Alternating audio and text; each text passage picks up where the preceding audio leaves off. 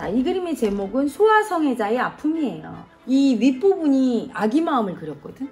아기를 되게 사랑해. 사랑하다 못해 그게 성적으로까지 다 비하가 되네. 성도 다 그 아기 마음과 어른 마음으로 보네. 아기 마음을 너무 사랑한 나머지. 그래서 되게 소아 성애자들은 마음이 아프죠. 아기들을 사랑하는 게 죄가 아닌데 그걸 통해서 성적인 수치가 나가니까 본인이 일부러 그러는 게 아닌데 그래서 여기는 그 아픔을 그렸어요. 되게 되게 사랑 주고받고 싶은 아픔이 있는데 어린 아이들을 특별히 사랑하고 어린 아이들만 사랑할 수밖에 없는 아픔을 한번 그려봤습니다. 소아 성애자의 아픔이에요.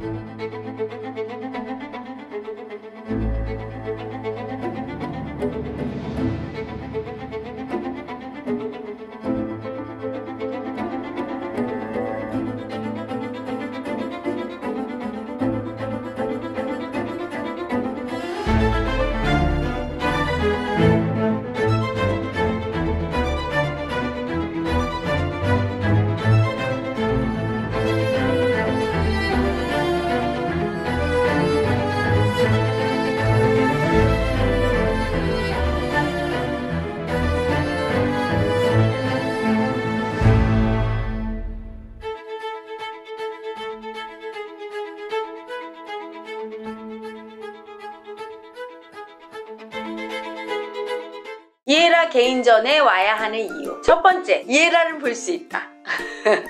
두 번째, 영체 그림의 실물을 영접할 수 있다. 살아있는 영체 그림 확인하러 오세요. 세 번째, 이에라 작가의 라이브 드로잉이 있다. 같이 마음과 마음으로 소통하면서 라이브 드로잉하는 그 장면. 그 자리에 함께 있으면서 마음으로 소통하는 즐거움을 느껴보세요. 네 번째, 서울에서 하는 올해의 마지막 전시회입니다. 이제 다시는 안 올지도 몰라요. 내년에도 후년에도 안 올 수 있어요. 이제 정말 마지막. 다섯 번째, 재미있고 다양한 이벤트가 준비되어 있다. 보통 전시회와 다르게 지루하거나 그냥 그림 감상만 하지 않고 그림을 통해서 자기의 어떤 마음을 치유할 수 있는지 그림 reading을 해주고요. 그리고 영체 카드, 제 그림으로 만든 카드죠. 그 카드를 통해 여러분의 운세를 봐드립니다. 밤에는 night gallery가 있어요. 그림과 같이 춤추는 건 어떤 느낌일까? 또 라이브 드로잉을 통해서 화가와 함께 같이 그림을 그리는 재미를 만끽하실 수 있습니다. 그림뿐이 아니라 이혜라 작가의 노래 실력도 볼 수 있어요. 그리 잘하지 못해도 사랑으로 아픔으로 같이 하는 노래를 즐길 수 있습니다.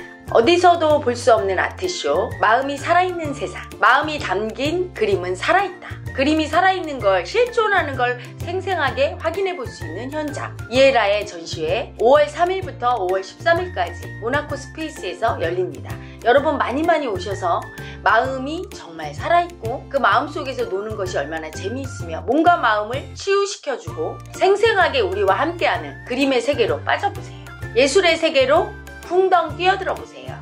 너와 내가 하나인 세상을 주제로 펼쳐지는 이에라 작가의 전시회. 여러분 오셔서 너와 내가 하나임을 확인하시고 영체 그림 속에서 치유받으시길 바랍니다.